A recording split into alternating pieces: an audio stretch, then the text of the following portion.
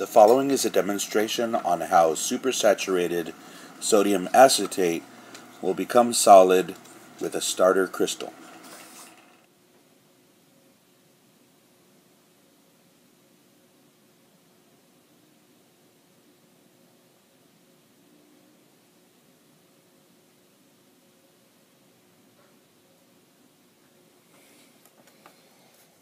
This is Frankie G. Morales, your rock and roll science teacher, signing off.